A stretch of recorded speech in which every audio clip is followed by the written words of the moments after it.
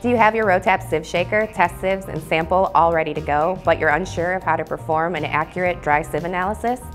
In this video, I'll walk you through the steps needed to ensure you get the accurate test results you're after. Let's get started.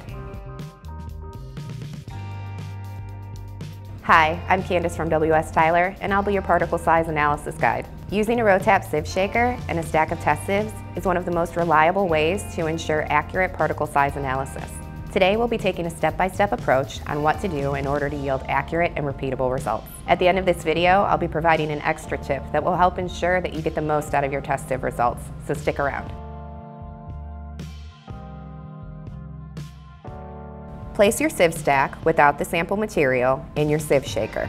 Pour your sample into the top sieve. Try and pour your sample as evenly around the surface of the top sieve as possible. Once your sample has been poured in its entirety, Place the test sieve lid on the top. Place the Rotap cover with the cork plug on top of your sieve stack.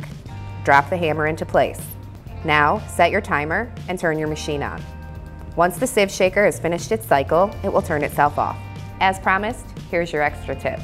To ensure that you continue to yield accurate sieve results over time, we recommend having two sets of test sieves. One set will be your master set, while the second is your everyday working test sieve set. Master sieves shouldn't be used every day. Instead, think of them as an insurance policy.